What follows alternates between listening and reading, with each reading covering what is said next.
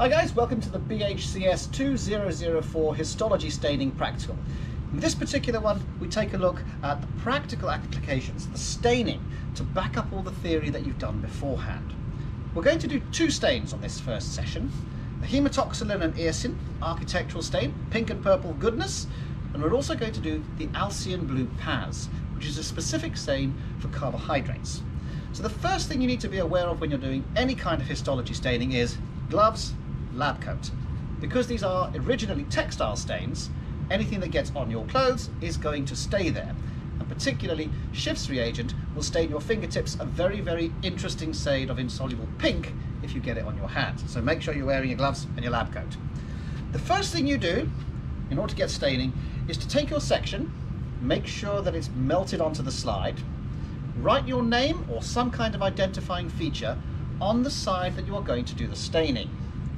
Otherwise, you're going to wind up staining the wrong side and you'll wipe it off. Once that's done, you need to remove all that paraffin wax that's on there and put it into an aqueous medium. And to do that, we do it over here.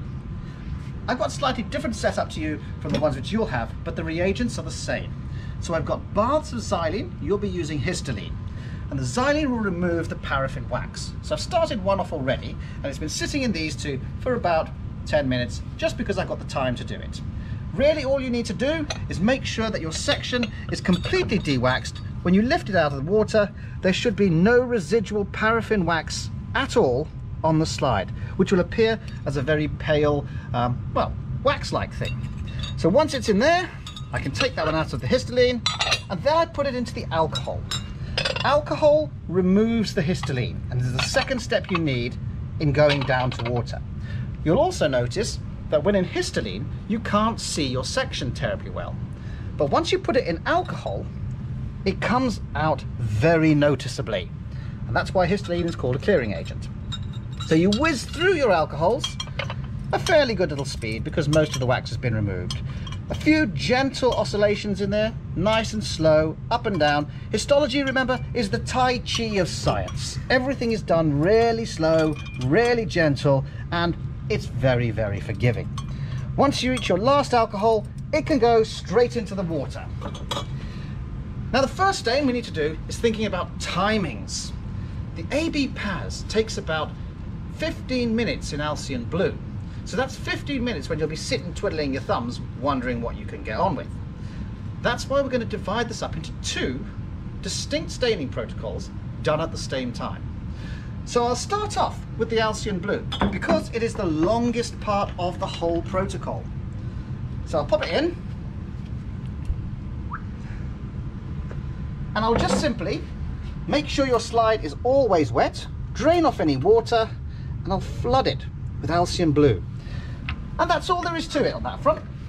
Drown it in Alcian Blue and then leave it alone. That means I can now turn my attention the other stains I've got to concern myself about, namely the hematoxylin and eosin.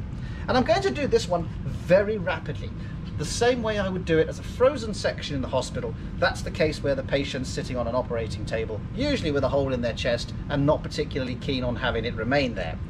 So we'll stain this section start to finish in round about five minutes. The protocols will say do it longer, absolutely. Um, I've got the experience to do it this way, but the longer you leave it, the better the quality of the staining, which is really what you're after. So just tidying up because I like clean. The first step in an H&E is of course the H, the hematoxylin. I'll drop it in there and I'll just set it up and down a little bit. Gentle agitation, helping that reaction speed along. And that will sit in there for probably about a minute.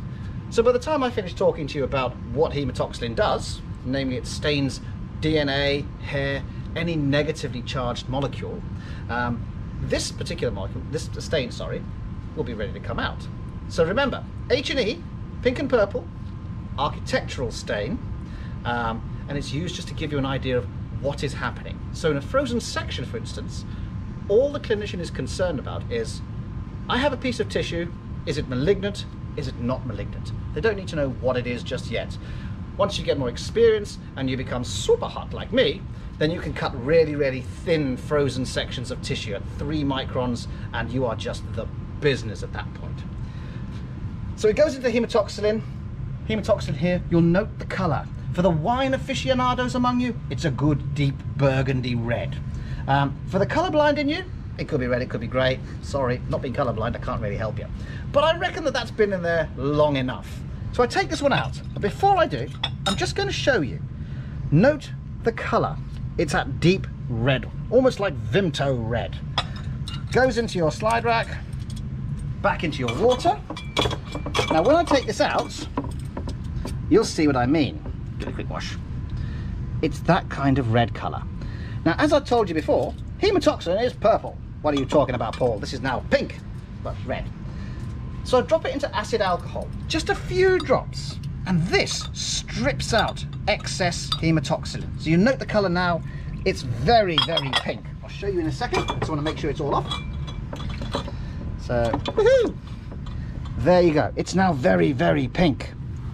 Like, okay, Paul, where are you going with this? Now I employ my cheat step, lithium carbonate. It simulates hard tap water. Now watch the colour on there. You see how it goes from pink to purple. And once it hits that purple colour, you are done. That is all there is to it. Nothing scientific. Has it gone purple? If the answer to that question is yes, it's good to come out. The last step we need to do is the eosin one. Now eosin is incredibly messy. So make sure that when you're playing around with it, you keep it well contained and treated with respect. This stuff goes everywhere and it stains everything. So your favorite lab coat, bright pink. Ta-da! Um, bench stains, pink, everything pink. I've been waffling on at you for just a few seconds. Strangely enough, that is perfectly sufficient time to stain this up. That molecule is so small, it zips into your tissue and it's good to go. So I'm going to whip that one out. Woohoo! Straight into my water bath. And you'll notice he's still kicking around. He's doing nothing at all. I'm not bothered by him in the slightest. Out that comes. And you'll see here, it's pink and it's purple. Wunderbar. The next thing you will do then is go through your ethanols very quickly. Because you don't need much. Like that. Through to there and then into your xylene. And what you have to do is make sure this is done very slowly, very gently. You don't want any white opaque parts there. Once it looks like that, you're ready to cover slip and we'll do that right at the end. So now our hematoxylin and eosin slide is done and it's just sitting in the xylene, chilling out, having a good time. I could leave it there, it's going to be absolutely fine. Now I can turn my attention to the next part of the protocol, the AB PAS and its associated PAS stain. So over here is the Alcian blue. It's been sitting around minding its own business. What I'm going to do now is just drain that all off, give it a good wash. And here's a good tip for you. When you wash a slide, turn it upside down, wash the back, and capillary action comes underneath, cleans the slide, really nice and gentle. You're left with a bit of tissue with some nice, very delicate blue staining. Once that's there, I'll flood it with water just to make sure everything is kept wet. And I'll bring up the reserves. Here is my Paz stain. Now this one has just been sitting in water as well. All I'm going to do now is stain it with the 1% Schiff's. So all I will do, get some Schiff's. For your one, you'll just simply pop it straight into your little slide holder. Drain the water off and flood both slides with Schiff's reagent. You won't see any colour change with Schiff's. That's all you need to do. Leave that alone for the next five minutes and then we'll move on to the next step.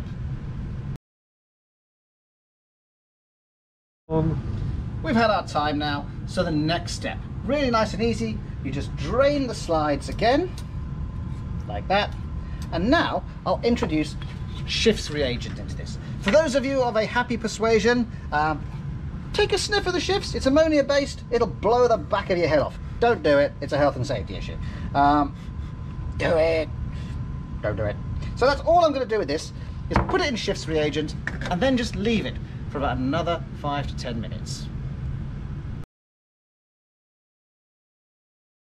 Okay guys, so it's been wallowing in Schiff's reagent quite happily. And you can tell when Schiff's is starting to work, when you look at your section, it's got a very, very faint pink. Almost like um, when you've been out in the sun, for instance, you've got very fair skin, you go very, very pink there. So what I'll do is I'm going to load it up into a staining rack, drain off the reagent, both my PAS and my AB PAS, because it's the same step, and then as I put it in here, you'll see an almost immediate color change to the water, how it goes pink. And that's the Schiff's reagent at work. So you just simply give it a good wash. And now, if you check out your slide, you'll see it's got a faint pink and blue to it for the AB PAS. For the PAS on its own, you won't have that blue, and it just looks pink. Now, that's highlighted all the various mucins you need to see, but we want to make sure you can see all the cellular structures too, to give context. So to do that, we simply do a little hematoxylin counterstain to show all the nuclei. And this is pretty much exactly the same as you do the hematoxylin and eosin. So it goes from there into your hematoxylin, just let it chill out there for a little while. While it's chilling there, I'll tell you a little bit about the AB PAS. So Alcian blue will pick up particularly any kind of um, sulfated mucin carbohydrate. So it will stain goblet cells in the intestine, the mucin producing cells in the bronchus, for instance. It's a very good stain for helping you work out um, do you have a metastatic colon spread, for instance, a metastatic colon cancer spread, sorry. It'd be rather odd if your colon was just randomly spreading. Um, and it can stain that bright blue um, in areas where it shouldn't be, you can argue, yes, there's some kind of acid mucin producing metastasis here. The PAS part stains all other carbohydrates. So it will pick up, for instance, in these rat sections, the, uh, the um, cellulose cell wall of the plant food that it last ate. It will stain up neutral mucins, so you get those in the small intestine. It will stain epithelial cells the carbohydrate residues as well, so the membranes will come up pink. It stains the basement membranes. If you remember, think back to the talks we had about basement membranes and renal diseases. It picks up fungal hyphae. Very good, very fast and dirty stain just to show you, hey, have you managed to pick up an aspergillosis, for instance, within the lung or something in the skin? So that's been in the hematoxylin enough time. I'm going to whip it out and I'll rattle through this very, very quickly because it's exactly the same. So when you see here now, there's your PAS. It's very dark purple. We're not particularly keen on that, so I need to strip out the excess dye called regressive staining. Goes in the acid alcohol, just a couple of dunks. Turns it light pink. Back in we go. Then I come out and I go into the lithium carbonate just to turn everything the correct shade of blue. We take that out, give that a wash, and we're in the home stretch now. All we're going to do now is take that from its water back through the alcohols to the xylene again. There we go. And you can do this part fairly quickly. It doesn't need to be very long like when you're dewaxing because here you're removing very small molecules of water, very small molecules of ethanol into the larger molecules of xylene. So it works much, much quicker. Into the first xylene, make sure you've got all that alcohol off so your slide is nice and clear. And then into the next one. And finally, me, into the last one over here.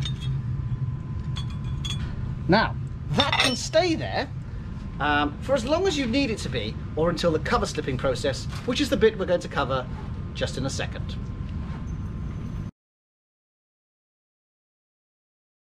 Right, it's time now to put the final touches to your staining, and that is putting the cover slip on. Cover slipping is often made out to be this quite difficult thing, and in reality, it should be fast, it should be slick. So I'm going to show you the professional way of cover slipping that avoids any kind of damage to the tissue and makes you look uber good. So here's the equipment I've got. I've got three cover slips because I've got three slides and I've outlined them in black just to show you where I've put them. My slides remain in their little histidine or xylene bath. I want to keep them soaked. And I've got DPX, which is a xylene-based mountant, so it and the xylene will mix. That comes in very useful for the next part. So all I will do is throw something on the ground and then get some DPX, and I'll put a line of it straight down the middle, just like this. No mess, no fuss, single line. And I'll take a slide, I'll rest the bottom of the slide against the bottom of the cover slip, let's whiz it that way around, finger at the back to stop it sliding backwards, rest it down like that, touch, and flick it back over. And that is all you do. Section, bottom of the slide, finger, touch, bring back. That lifts the cover slip with the section and the weight of the cover slip then gently spreads out the mounting medium and everything comes out really nicely. There they are, they're now cover slipped. Give them a few seconds, wipe the bum with a bit of uh, tissue paper and take a look at them under the microscope.